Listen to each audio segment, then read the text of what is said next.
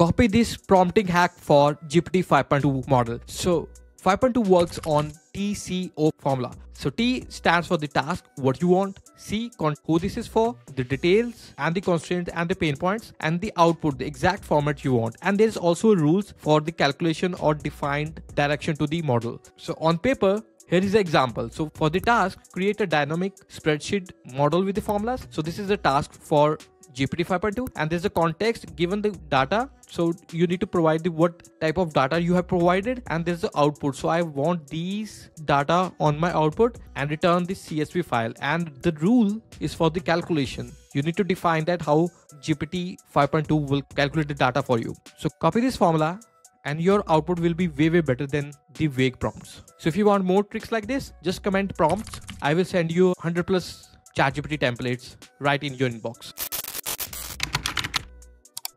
promptslove.com.